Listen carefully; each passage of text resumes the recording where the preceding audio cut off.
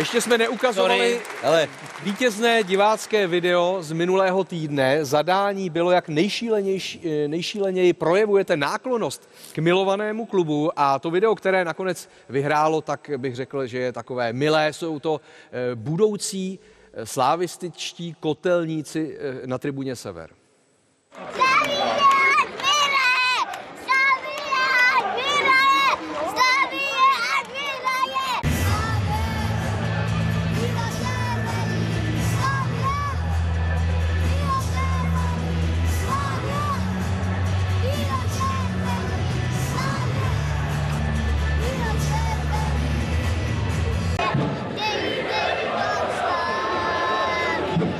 Tak musím říct, že těhle 30 vteřin Ivan vyloženě protrpěl.